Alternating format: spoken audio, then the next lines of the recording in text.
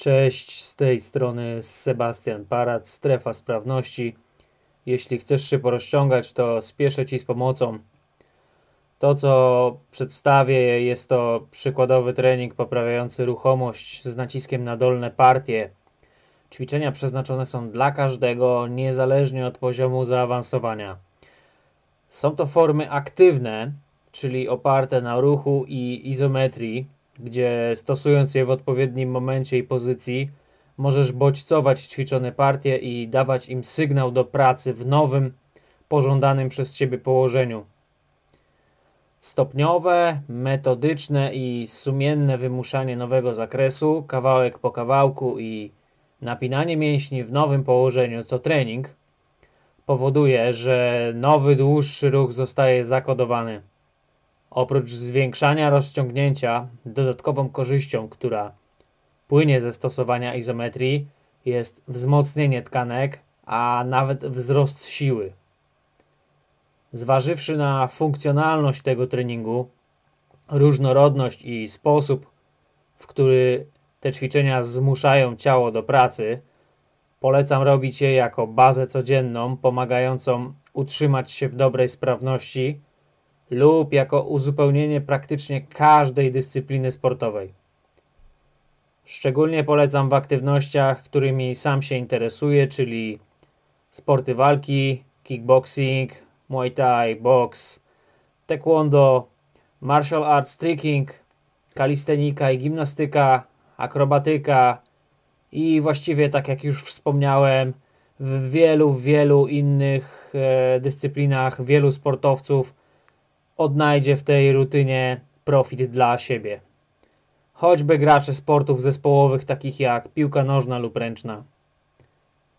Ok, już wiemy co i jak, zatem przed przejściem do omawiania konkretnych elementów zostaje mi tylko wspomnieć, że pokazane na filmie materiały to propozycja, z którą mam nadzieję zrobisz to, co uznasz za najlepsze dla siebie. Czyli dodasz do swojego treningu to, co uznasz za pomocne, wykonasz wszystkie ćwiczenia po kolei w formie osobnej sesji lub po prostu skorzystasz z nich na zasadzie nowej ciekawostki.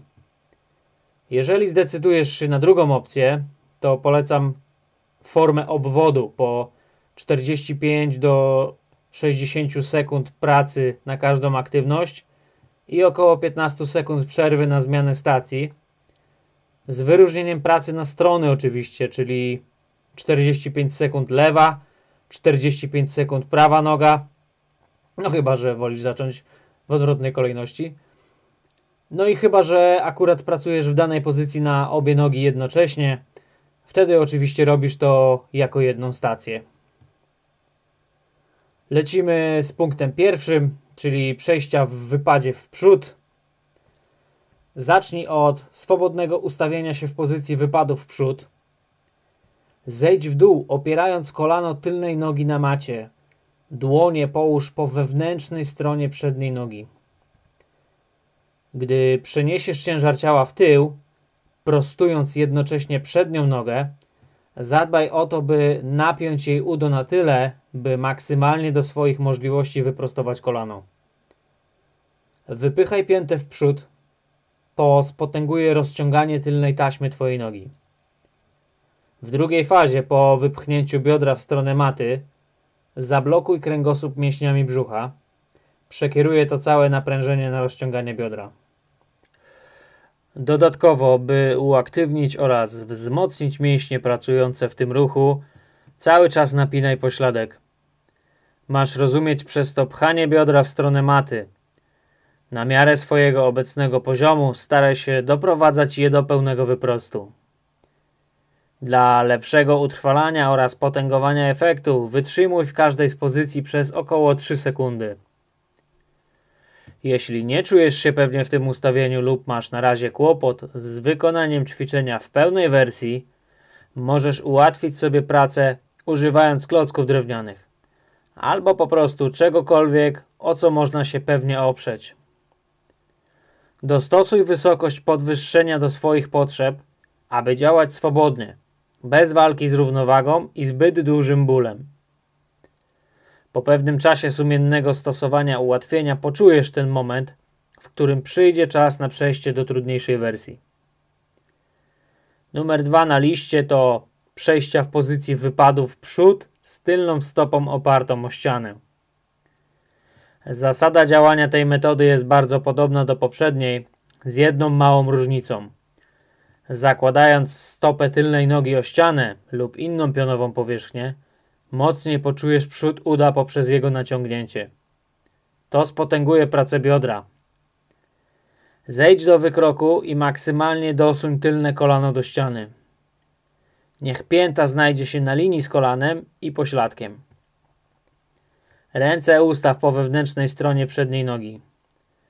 Ustaw się w wygodnej pozycji, która umożliwi Ci wykonywanie przejść i pełen wyprost kolana. Dodatkową rzeczą, która wymaga tutaj Twojej uwagi, jest wspomniane rozciąganie przedniej części uda. W momencie wyprostu przedniej nogi, prócz pracy z prostowaniem kolana, staraj się także odpychać od tej nogi w tył. Robiąc to w prawidłowy sposób, poczujesz bardziej intensywne rozciąganie w tylnej nodze.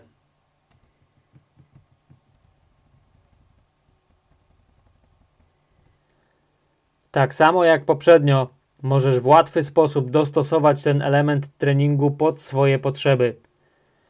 Jeśli potrzebujesz spokojniejszej wersji ćwiczenia, pomóż sobie drewnianymi klockami. Umieść je po wewnętrznej stronie przedniej nogi a nawet po prostu po obu stronach, gdy uznasz to za wygodne. Tutaj również polecam Ci przytrzymywać poszczególne położenia przez około 3 sekundy. Wszystko to dla lepszej aktywacji i pracy mięśni, która przyspieszy oraz utrwali upragnione efekty. Pozycja trzecia to prostowanie nogi założonej na podwyższenie. Możesz dostosować wysokość przyrządu treningowego pod siebie albo znaleźć element otoczenia, który będzie odpowiedni. Ważne jest w tych ćwiczeniach uczucie komfortu i równowagi. To pozwala na skupienie się na samym ich sensie, czyli rozciąganiu, zamiast walki z ustawieniem pozycji. Załóż jedną nogę na górę, oprzyj piętę i wypchnij ją w przód. Stopę nogi podporowej odsuń na odległość pozwalającą wykonać swobodny skłon w przód. Skręć ją lekko na zewnątrz, około 15-20 stopni. Podczas wyprowadzania większości kopnięć również skręcasz stopę, nawet mocniej. Ja na potrzeby nagrania trzymam się tego schematu, ale Twoje ustawienie może być inne. Jeśli skierujesz palce całkowicie w przód, odczucia rozciągania będą nieco odmienne. Raz ciągnij tułów w stronę stopy przedniej nogi, napinając przy tym udo do wyprostu kolana, a dwa przyciągaj się i pchaj biodro do przodu w pozycji pionowej, prostując je i dopinając pośladkiem. Mówiąc przyciągaj, mam dosłownie to właśnie na myśli. Pomagaj sobie rękami w ustaleniu pozycji trakcie możesz zastosować się do dwóch typów położenia nogi podporowej. Wejdź na palce lub zostań całą podeszwą na ziemi i sprawdź, jak te konfiguracje wpływają na rozciąganie Twojego biodra. Oba ułożenia mogą dać dwa różne odczucia w rozciąganiu tkanek. Ty możesz zacząć od mniejszych lub większych ruchów niż te, które pokazuję na filmie. Tak długo jak czujesz, że masz pełną kontrolę nad tym, co robisz, trening będzie w porządku. Oddychaj, skup się i dostosuj siłę spięć do danego położenia i odczuć płynących z Twojego ciała. Przejścia w klęku rozkrocznym lub po prostu w tak zwanej żabie. Zacznij z klęku podpartego, a następnie ustaw kolana najszerzej jak możesz, zachowując przy tym ich ustawienie w linii z biodrami. Połóż wewnętrzne części stóp na podłodze. Linia kolana powinna pokrywać się mniej więcej z linią śródstopia. Oprzyj się na prostych ramionach lub alternatywnie przejdź na przedramiona, co powinno ułatwić wykonanie ruchu na początku, ponieważ zmniejszy kąt rozciągania. Myśl o wciskaniu bioder w stronę ziemi, tak jakbyś chciał, jakbyś chciała wewnętrzną stronę nóg na niej położyć. Takie odczucie uzyskasz tylko przy pracy z lekko napiętym brzuchem, więc upewnij się, że go kontrolujesz. Zanim przejdziesz do aktywności właściwej, możesz dać sobie chwilę w wytrzymaniu statycznym, które pozwoli ci przyzwyczaić się do pozycji. Następnie przenieś biodra w przód i zbliż je jak najmocniej do maty sposobem, o którym wspomniałem przed chwilą. Dodatkowo potrzebujesz skupić się na spięciu pośladków w trakcie maksymalnego dopchnięcia, co pomoże pogłębić i utrwalić nowy zakres oraz zwiększy świadomą kontrolę nad stawami biodrowymi i miednicą. Wytrzymaj około 3 sekundy, a potem odepchnij się rękoma i wróć do pozycji wyjściowej.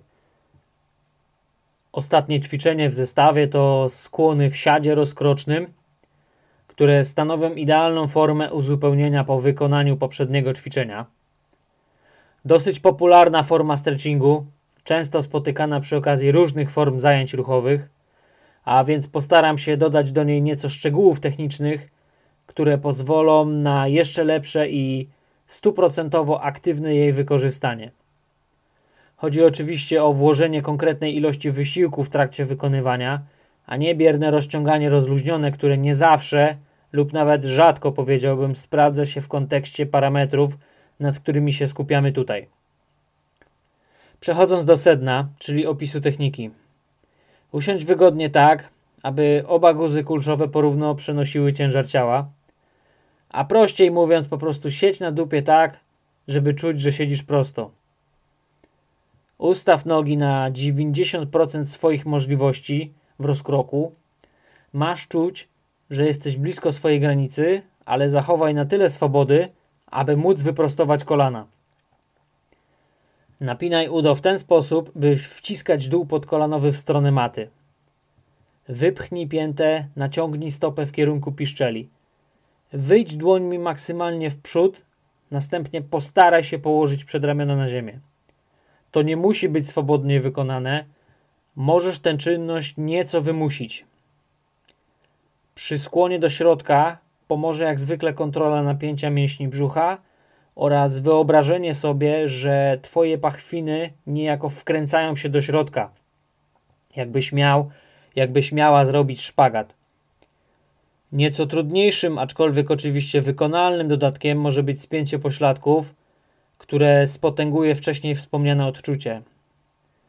Jeśli jednak tyle szczegółów naraz to dla Ciebie zbyt wiele na początek, to skup się na razie na jednym, wybranym elemencie, który najbardziej Ci pomaga, a z każdym kolejnym razem staraj się wprowadzać coś nowego. Następnie ze środka przejdź na jedną ze stron, ustawiając dłonie po obu stronach nogi. Wciąż skupia się na pracy z kolanem i wypychaniem pięty. Wolna noga również musi być aktywna.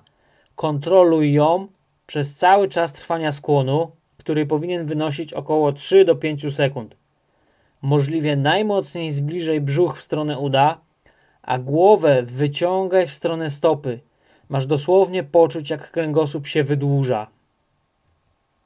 Jeśli na początku masz kłopot z wykonaniem pełnego skłonu lub samym utrzymaniem pozycji rozkroku z prostymi kolanami, zacznij od czegoś łatwiejszego usiądź na zwiniętej macie, ręczniku lub drewnianym klocku i zmniejsz lekko rozkrok. Następnie zaprzyj się rękami, ustawiając je za plecami w okolicy tyłka. Kontroluj brzuch i lekko pchaj biodra do przodu. Nie chodzi o fizyczne przesuwanie się w przód, a raczej o samo wytwarzanie odpowiedniego napięcia. Gdy się już nieco rozluźnisz i poczujesz więcej swobody, Przejdź do pozycji skłonu i stosuj się do zasad wymienionych przy okazji omawiania wersji wyjściowej. To tyle. Mam nadzieję, że odcinek okazał się dla Ciebie pomocny. Jeśli tak, udostępnij, podziel się ze swoimi znajomymi. To pomoże w szerzeniu mojej misji pomocy innym trenującym i szukającym opcji na swój rozwój. Niezależnie od tego, jak oceniasz materiał, podziel się opinią w komentarzu. Sprawdź także inne filmy na kanale. Dzięki za oglądanie i do zobaczenia oraz usłyszenia następnym razem. Mówił Sebastian Parat. Mówił Sebastian Parat. Strefa sprawności. Cześć.